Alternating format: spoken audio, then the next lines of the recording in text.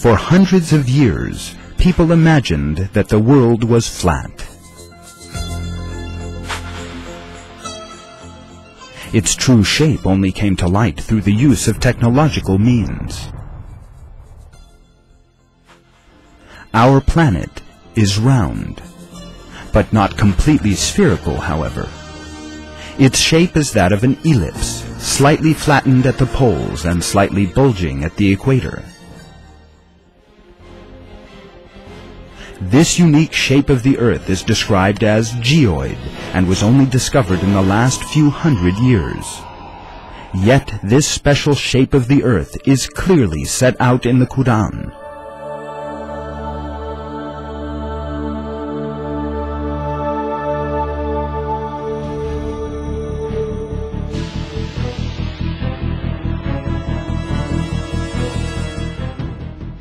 The verse in question reads,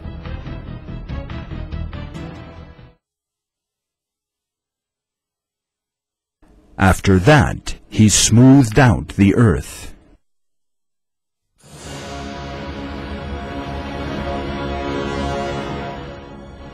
In the above verse, the word daha is used in the original Arabic.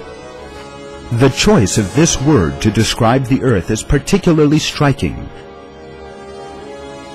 because daha stems from the Arabic word dahu, which word is used to describe the action of adjusting or smoothing something out in a spherical manner.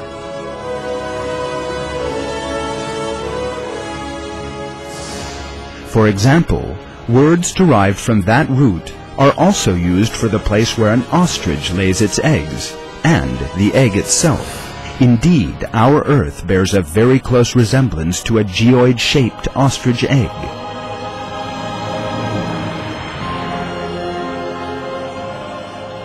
The use of the word daha contains important information about the shape that God has given to the earth.